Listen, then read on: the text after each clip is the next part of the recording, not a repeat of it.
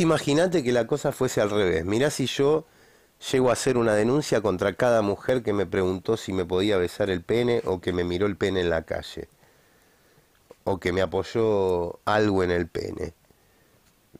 O sea, termino metiendo un cuarto de ciudad en cana. No, no, me parece una locura, francamente me parece una locura. O sea, no, no, no, no. No sé, me, parece una locura, me parece exagerado, me parece que sería algo muy atroz, digamos. Eh, no sé, qué sé yo. Digo, ¿no? Si un día se me- cada, cada mina que me miró o cada mina que me dijo algo, eh, voy y la denuncio. Imagínate, ¿no? En lo que terminaría si realmente uno tuviera el poder de... Aparte se te cagan de risa, ¿qué van a, qué van a hacer? ¿Las van a detener? No, no hacen nada.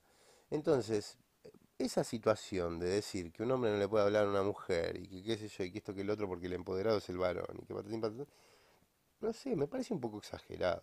Pero bueno, en fin, no importa. Igual sigo considerando que, que Ingrid es una, una persona muy talentosa y muy admirable y me parece que es una referente social y política que tiene una dimensión estratégica mucho mayor y mucho más compleja y más completa que la mía. O sea, yo soy un pichi al lado de Ingrid.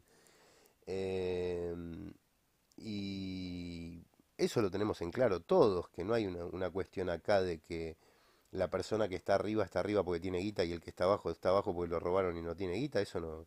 Sabemos que, que quien está arriba está arriba porque lo merece y quien está abajo está abajo porque lo merece.